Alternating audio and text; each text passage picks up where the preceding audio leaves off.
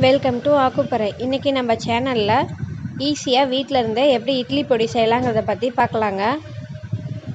தேவையான பொருட்கள். கடலைப்பருப்பு ஒரு கப் மிளகாய் பத்து டு பதினஞ்சு. உப்பு தேவையான அளவு பெருங்காயத்தூள் அரை ஸ்பூன் மிளகு ஒரு ஸ்பூன் பூண்டு அஞ்சாறு பல். உளுத்தம்பருப்பு ஒன்றரை கப் கருவேப்பிலை ஆறு கொத்து. அடுப்பில் கடாய் வச்சுக்கோங்க. கடாய் நல்லா ஹீட் ஆனதுக்கப்புறம் ஒரு கப் போல் கடலப்பருப்பு சேர்த்துக்கோங்க. சேர்த்து நல்லா வறுத்து விடுங்க. கடலைப்பருப்பு நல்லா ஓரளவுக்கு குக் ஆனதுக்கப்புறம் ஒன்றரை கப் போல் உளுந்து சேர்த்துக்கோங்க. சேர்த்து நல்லா வறுத்து விட்டுக்கோங்க.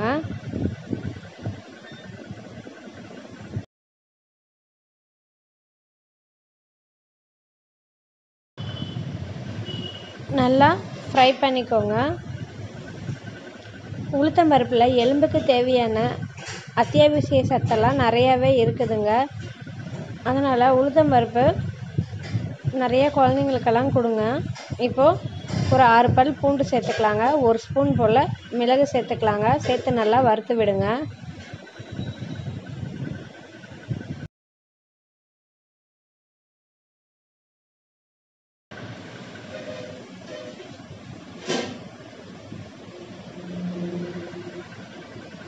இப்போது மிளகாய் உங்களுக்கு எவ்வளோ காரம் வேணுமோ அதுக்கு தகுந்தாற் போல் சேர்த்துக்கோங்க. சேர்த்து நல்லா வறுத்து விட்டுக்கோங்க. இப்படி நாங்கள் ஒட்டுக்கா சேர்த்து வறுக்கிறோங்க. உங்களுக்கு இது கம்ஃபர்டபுளாக இல்லை அப்படின்னா தனித்தனியாக கூட வறுத்து எடுத்துக்கலாங்க. இப்போ கருவேப்பிலை சேர்த்துக்கலாங்க. எங்கள் வீட்டில் குழந்தைங்க கருவேப்பிலையெல்லாம் சரியாக சாப்பிட மாட்டாங்க. அதனால் நாங்கள் இதில் கொஞ்சம் சேர்த்தியே எடுத்துக்கிறோங்க. கருவேப்பிலையில் இரும்பு சத்து நிறையா இருக்குதுங்க. ஹேர் ஃபால் ப்ராப்ளம் இருக்கிறவங்கெல்லாம் கருவேப்பிலையை வந்து நல்லா சாப்பிட்டிங்கன்னா ஹேர் நல்லா க்ரோத் ஆகுங்க. எல்லாத்தையும் நல்லா வறுத்துக்கோங்க.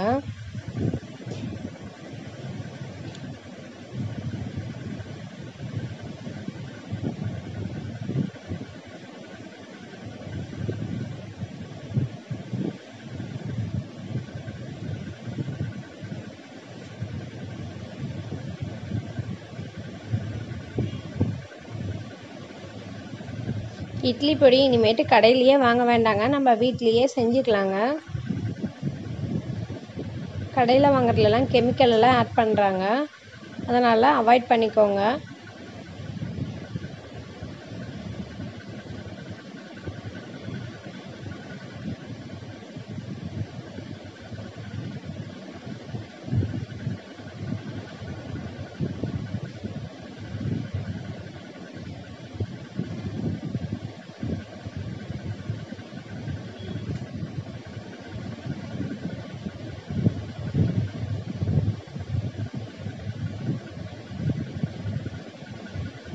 இப்போ பெருங்காயத்தூள் சேர்த்துக்கலாங்க.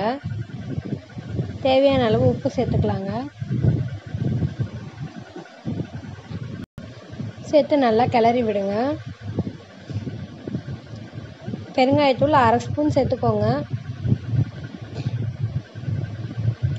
எல்லாம் நல்லா கிளறி விடுங்க. கிளறி விட்டு இந்த மாதிரி ஒரு பிளேட்டில் கொட்டி ஆற வச்சு அரைச்சி எடுத்துக்கோங்க நல்லா. நைஸாக பவுடராக அரைச்சி எடுத்துக்கலாங்க. இப்போ நமக்கு தேவையான இட்லி பொடி ரெடி ஆயிடுச்சுங்க. இதை நீங்களும் உங்கள் வீட்டில் ட்ரை பண்ணி பாருங்கள் ட்ரை பண்ணிவிட்டு ஃபீட்பேக்கை கமெண்ட் செக்ஷனில் மறக்காமல் போஸ்ட் பண்ணுங்கள் பிடிச்சிருந்தால் லைக் பண்ணுங்கள் உங்கள் ஃப்ரெண்ட்ஸுக்கும் ஷேர் பண்ணுங்கள் மறக்காமல் ஆக்குப்பறை சேனலை சப்ஸ்கிரைப் பண்ணுங்கள் பெல் பட்டனையும் கிளிக் பண்ணுங்கள் அப்போ தான் எங்களோட அப்டேட் எல்லாம் மிஸ் பண்ணாமல் நீங்கள் பார்க்க முடியும். தேங்க்யூ ஃபார் வாட்சிங்